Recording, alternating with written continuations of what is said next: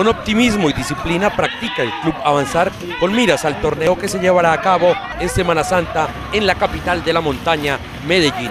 Luis Alfredo Rojas confía en su buen desempeño.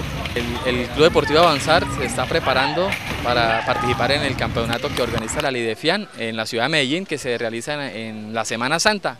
Es un torneo interclubes, nosotros participamos en la categoría B.